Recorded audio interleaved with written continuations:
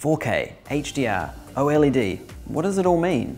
This is a great question. These are all different technologies that you'll see in a lot of smart TVs these days. 4K, or ultra high definition, is four times the resolution of standard full high definition pictures. It's got 8 million pixels.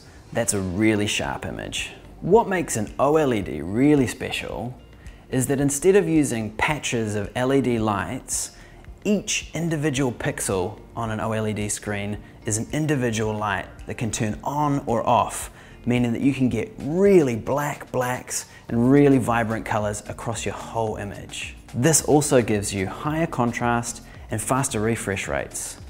Now the other cool thing is they don't need a backlight, so OLED screens are almost always a lot thinner than your traditional LED screens. HDR is a technology that allows the TV to show you a much wider range of colors.